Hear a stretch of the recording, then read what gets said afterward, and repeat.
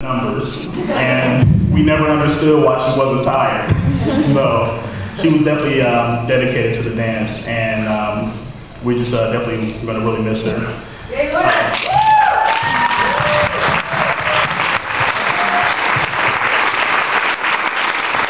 And also, uh, I want to acknowledge Morrison's family. Uh, they're here in the front row. Um,